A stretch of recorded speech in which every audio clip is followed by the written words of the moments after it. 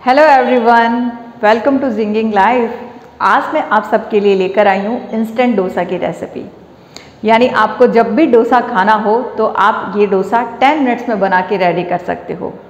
न चावल भिगोने हैं, ना दाल भिगोनी है, और जब भी मन हो, ये डोसा हम बना के खा सकते हैं।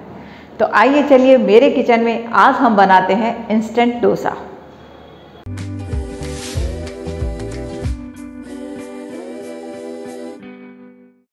इंस्टेंट डोसा बनाने के लिए मैंने लिया है एक बाउल सूजी। ये मोटी वाली सूजी है। और वन फोर्थ बाउल लिया है मैंने आटा। रेगुलर आटा जो हम घर में यूज़ करते हैं, वही यूज़ किया है मैंने। सबसे पहले इस सूजी को हम मिक्सर जार में डालेंगे और आटा भी इसमें ऐड कर देंगे। ताकि ये दोनों अच्छे से मिक्स हो जाए और सूजी हमारी बारीक पिस जाए। ये देखिए मैंने बारीक इनको पीस लिया है।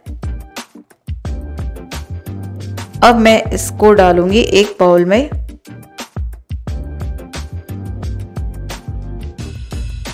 आधा कप इसमें डालूँगी दही सॉल्ट अकॉर्डिंग टू टेस्ट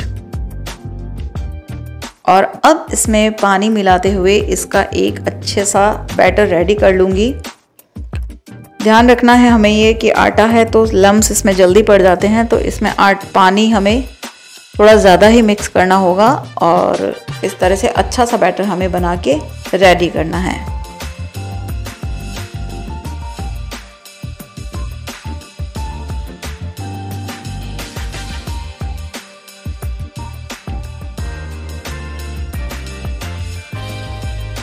ये बैटर बन के रेडी हो गया है। तो अब मैं इसे प्लेट से ढक्कन लगाकर पाँच मिनट के लिए साइड में रख दूँगी और थोड़ी सी वेजिटेबल तब तक कट कर लूँगी। फाइव मिनट हो चुके हैं तो मैंने थोड़े से टमाटो अनियन और कैप्सिकम को कट कर लिया है। अब बैटर चेक कर लेते हैं। बैटर थोड़ा सा गाढ़ा हो गया है। बिकॉज़ सूजी थी तो पानी उसने सॉक किया है। अब थोड़ा सा पानी इसमें डाल के बैटर को थोड़ा पतला कर लेंगे। और इसमें मैं डालूँगी आधा चम्मच इनो। ये देखिए, इनो डालते ही हमारा बैटर एकदम फ्लफी हो गया है। यानी डोसा बनने के लिए बैटर जो है हमारा, वो रेडी है।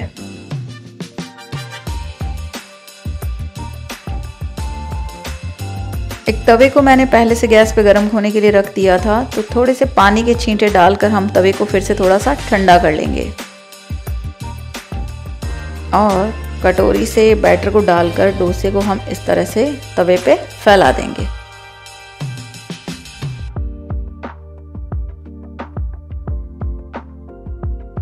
ये देखिए, डोसा पकने को आ रहा है।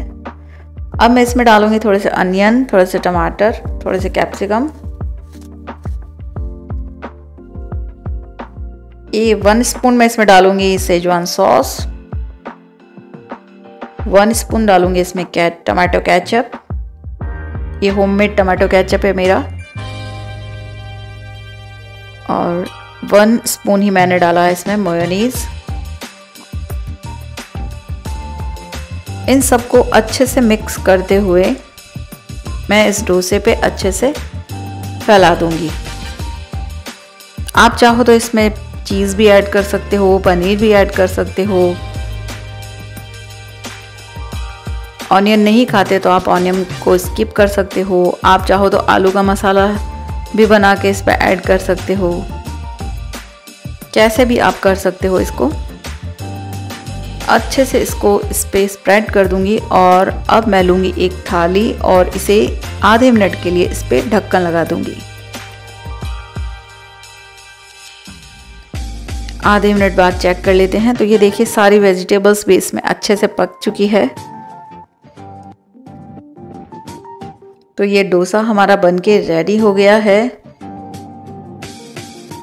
तो अब हम इसे चटनी, सॉस, सांभर, आपको जिसके साथ सर्व करना है, आप इसको सर्व कर सकते हैं। आलू के मसाले के साथ खाना है, आप आलू के मसाले के साथ खा सकते हैं। बस ये डोसा हमारा टेन मिनट्स में बन करके रेडी हो जाएगा। तो आप इसको कभी भी बना सकते हो घर पे। तो लीजिए रेडी है इंस्टेंट डोसा।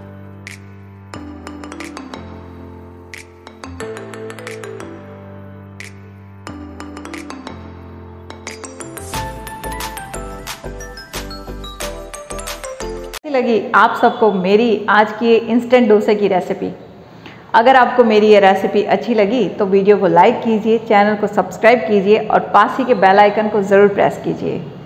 और अपने घर में भी आप इसी तरह से डोसा बना के ट्राई कीजिए और मुझे कमेंट सेक्शन में बताइए कि आपको ये मेरा आज का वीडियो कैसा लगा। मैं मिलती हूँ आप सबसे मेरे नेक्स्ट वीडियो में। तब तक के लिए बाय बाय